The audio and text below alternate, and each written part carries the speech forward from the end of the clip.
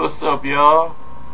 It's your boy Karceno again. Came to give y'all a quick rundown on, you know, what's new in news and sports.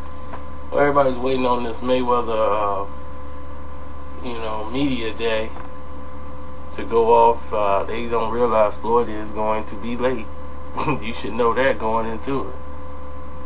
Uh, CBS is going to be airing Robert Guerrero fights and Floyd Mayweather fights.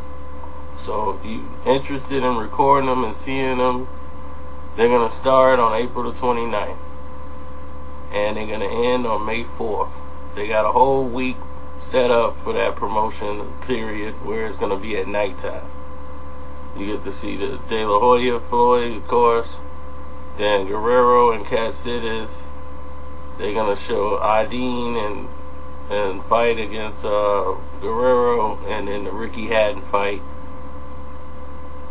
And then I think in May, what is that, about May 2nd or something?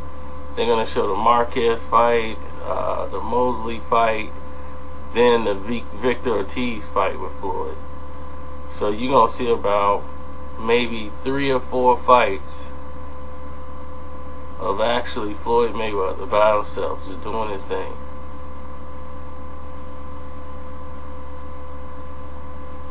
So you should be happy.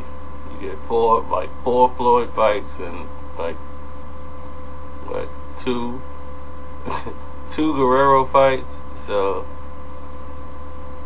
you're all good there. Then they gonna do the weigh-in, of course. All access shows will be on there. So if you miss all access, you get to watch them live on CBS.